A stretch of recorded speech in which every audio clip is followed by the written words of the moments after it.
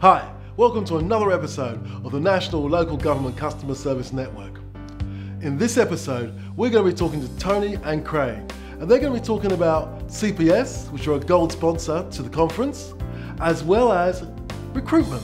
But as you'll find out, not just recruitment, but very specialised recruitment. Tony, morning, Craig. Gold sponsors to the National Local Government Customer Service Network Conference. I see that you're from CPS and a recruitment company. Tell us a little bit more about the recruitment company first. Well, this is the beautiful part about it, actually, Ron. It's what gets us excited because, in actual fact, we're not a recruitment company at all. Oh, We're completely juxtaposed to what a recruitment company does, but we replicate the services they do using technology. And the whole gist between what we do is we're an extension of basically the HR team directly. Yep. And we do it extremely cost effectively, we do it very efficiently, and we also do it to basically use technology to mimic the actual selection assessment criteria. It's so you advanced. so you really work very closely with the organisation that you're working with to ensure they get the right fit for the right person without the thousands of CVs that they need to go through. Absolutely, Rum. Our trick is that we want it to be productive for them. We've got to get the right person, but we want it to be really simple for them in the sense that we don't want them being distracted from their core business. Well, that sounds really, really good, and I'm sure that that's very effective for you and very effective for the councils. Touch what it is. It's it's productive. It's efficient for them, but it enables them not to get distracted from their core business. With what you do, what's the difference? I mean, you say the main difference is they're not distracted, so what's No, the main difference? It's technology.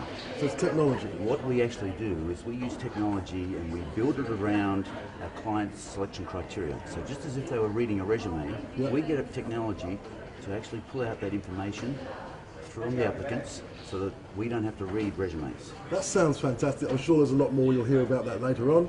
Um, now tell us a bit more about CPS there, Craig. What's Well- CPS? Well, Corporate Protection Services have been involved with uh, council for well over 10 years now, and um, we're predominantly a risk management business. So when you say risk management, we spoke heavily about risk at yesterday's conference. Yep. So tell us, what kind of risk are you managing? Well, I've got a policing background, so everything we talk about when we talk about risk is from a criminal perspective. So you're really protecting the staff members and protecting the councils.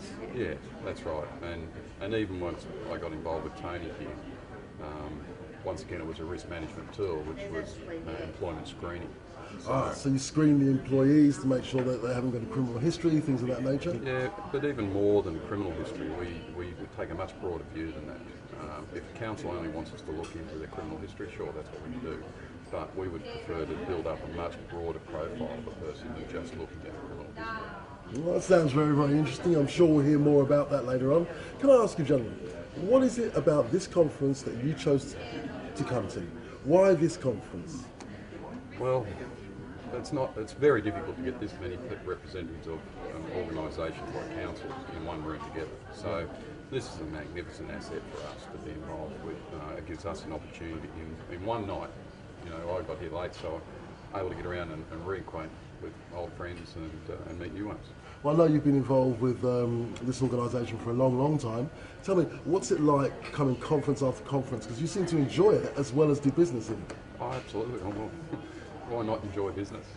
Well, that makes a lot of sense. And thank you very much for talking to us today, gentlemen. We hope to see you later. Thanks, Ron. Thank you. It's my pleasure to introduce to you Tony from Recruiting Screening Services. So without any further ado, Tony, welcome to the stage. Going back one decade into the 90s, I, not unlike yourselves, I had about 50 sales reps working for me, and I had three customer service teams, and the greatest problem was literally sometimes you had to make hard decisions, and we had to let people go. Instantly, what that brought upon us was the problem of having plug holes. Changed my resources, Mary's missing, whatever the case may be. As the managers, it came back to you, it fell on our heads, and suddenly you're juggling balls again. You've been distracted from your core business, and really all you want to do is get on with life. Well, today, what I'm going to show you is very quickly, uh, there's two parts to Craig and I. We, we work together, we've known each other for a long time as mates. I run a business called Rethink Recruiting. The rethink is really important. We are not a recruitment agency, we are nothing like it. Basically, the big difference is, which we're going to bring to awareness, is that we actually use technology to completely mimic the process of recruitment, but we drill a long way down into it so you don't have to read resumes until the final point where we present them to you. the tie-in with Craig's World is that, as you know, you all know Craig, Craig's World is very much built around probity, so that when you get to them to the final line, you just want to make sure you get the right person in. It's risk management, which is great. The flip side of having problems with people, though, in terms of them, you know, not fitting in with the team or the culture that we've got, there's a hole, but the one that really used to throw my day out, I'd, I'd listen to Barry White coming in the morning, and I'd listen to some pumping up music, I'd be feeling brilliant, you're in there on a Monday morning, it's go, go, go time, and that person you've been developing for the last six months, you've been investing in time with them, walk in the door and they say, listen, it's not you, Tony, it's me. I, I just need to extend myself a bit. I need to look out into the horizons and move on. So what are you saying? You're leaving? Yes, I'm leaving. There's a tremendous opportunity for us both. I, now, I don't know how you guys react to that, but I had difficulties, and I was told through, you know, performance reviews over the years that I had control issues, disappointment. I didn't take it well, apparently, so they said. And there was a range of responses to it, but most of them finally ended up with tears of one sort or another. Because the reality was my world had just been thrown out of kilter again. Suddenly, instead of concentrating on the business that I'm involved in, I'm now having to worry about plugging holes. Nothing more annoying for us as managers. But that was the reality of that. So, in the context of saying, right, we've now got to fill this hole. What we come to is that you've got to reach out to find applicants. It's because in the old days, the thought of reading hundreds of resumes was an absolute turn-off.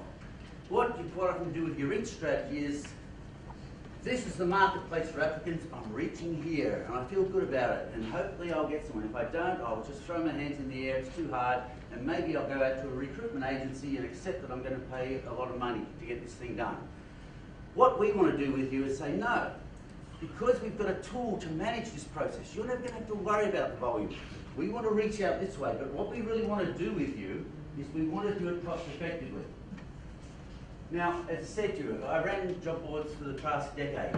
That tends to enable you to learn a lot about how you can really make them work for you. They spend a lot of money in marketing, positioning themselves so people know about them.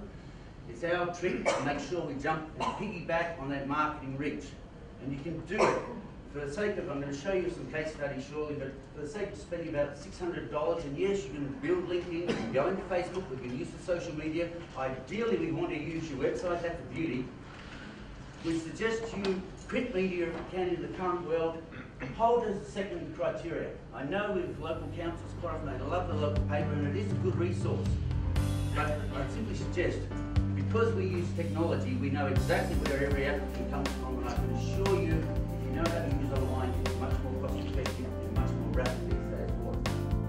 Thanks for watching the broadcast today. We hope you really enjoyed it. We hope you got lots of tips lots of tricks that you're able to use and take back to your council. And we're really looking forward to seeing you next time on the next broadcast. Bye for now.